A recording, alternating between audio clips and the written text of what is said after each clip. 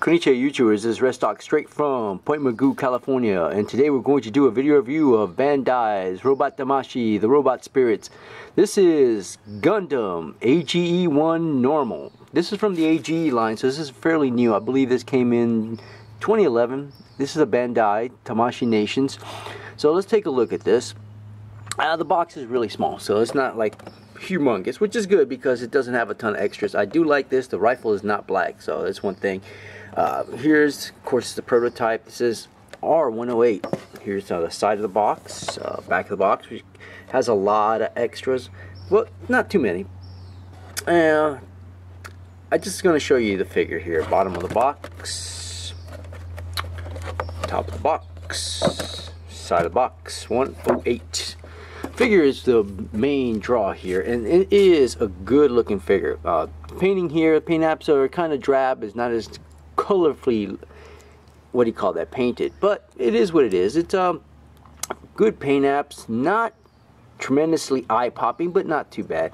Wish the head were a little bigger but I understand hey for the scale it's pretty good. There's no light piping but you can see the painted eyes so good detail on that. You even see paint on the crown over here. And the only thing I don't like is this is hard plastic on the points over here. So good tendency to break off later on. So red paint apps on the face, red paint apps on the chin here. I like the black stripes, very good paint apps for a tiny little head. Gray, gunmetal gray on the, so actually more of a gray, this is more of a gunmetal gray here.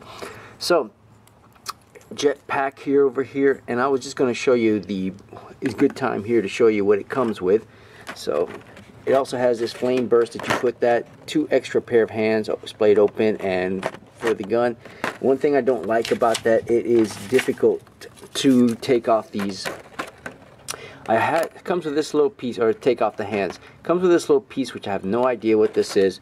Four beam sabers, a short one and two, uh, two short ones, two long ones, a shield, and the gun, which is totally awesome. I, I really like this gun. So let's go ahead and show you the articulation of the figure.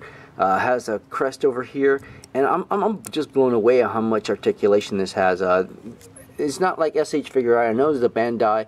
It's a different line, but yeah, it just rivals that. It does have a ball jointed head, so it could just move around. A single crane, uh, that joint doesn't move that much. The shoulder shrugs, so that's good. You have to, this thing does move about, so you're going to have to move that so it aligns. You can see the swivel joint right there. So bicep swivel, double jointed elbow. Has a swivel over here in the middle of the forearm, so it's good. Swivels, swivel on the wrists and rotates. Good. Alright, what else we have? Oh yeah, I do love the fact that it has upper torso articulation that can move side to side in addition to swivel on the waist. Good amount over there has a joint over here, not weird looking swivel joint on the hip. It can swivel out, actually a hinge on out, upper thigh swivel, so good articulation there. Double jointed knee, has a ball jointed, ball jointed, what do you call that, ankle joint, and also it is on a hinge. So good articulation on that. So definitely you can get them in poses. You can see the skirt pieces and the amount of poses you can get them is really good because and because of that is just wonderful in that respect. Let's see what other extras do we have? I'm just going to attach that. You have the little flame plume over here that you can attach. And it just tabs in. There's three tabs over here and three tabs over here. So it just tabs in there we go. It's kind of difficult to tab in but you, you can make it happen. It's loose too so not the best and I hopefully I didn't break it by doing so. Probably helps removing that little bit. Okay yeah trust me it does not like to do that. But yeah. And we're just going to tab this back in. And thankfully it didn't break here but yeah so if you want to do this little jetpack mode most definitely I just want to show you that so so that's a little extra that it has so if it's like neat, very neat. let's see what other things. You got the big shield. Oh, and one thing is, and it just has a little tab right here. You can tell right there, and it just tabs in right. There we go. So yeah, you can definitely put them in good poses. I'm to take this off because it's really not that not impressive. But yeah, the shield, most definitely awesome.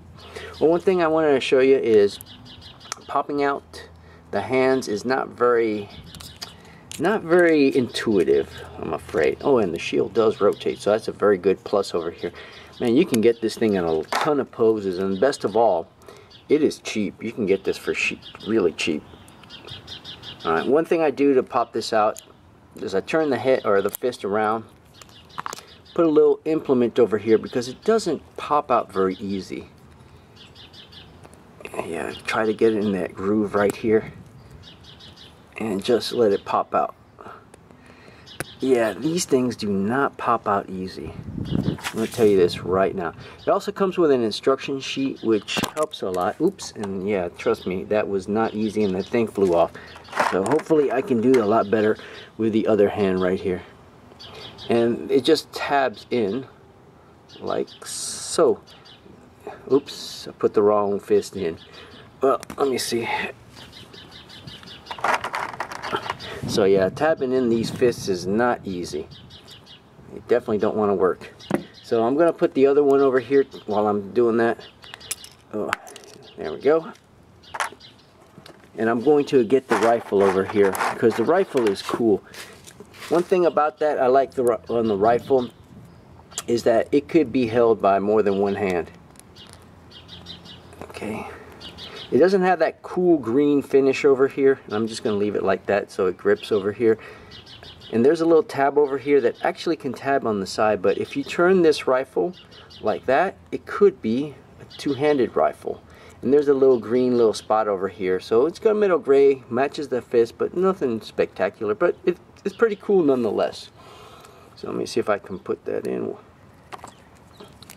Yeah, there's a little tab right here that tabs right there and I'm going to move that like that and the hand should tab in sorta. I'm not gonna try to tab it in. So most definitely good amount of posing.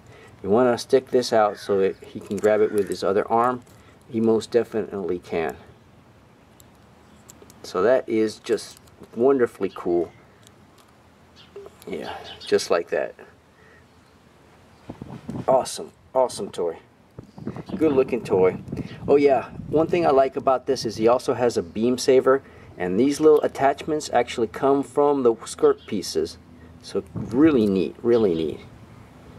All we have to do and I already mentioned there's two sizes here and you get two of them so you can do that. So you can pop in this one right here the small one and the large one course we're going to go with the large beam saber because of course it's a lot more impressive.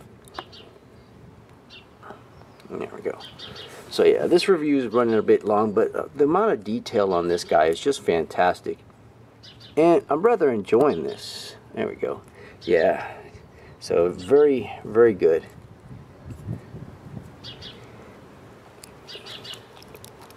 Yeah, wonderful looking, wonderful articulation. It just allows it just to the what you can do with this thing is just great and I, I rather enjoy it. So let's go ahead show you the rest of it over here.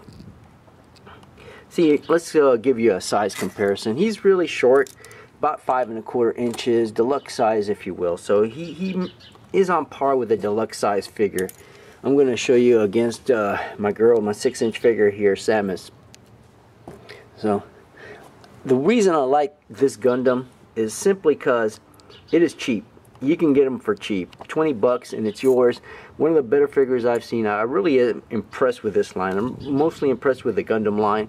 I, I rather highly enjoy this. So as cheap as it is, I'm pretty sure you can put, get this and get good fun out of them.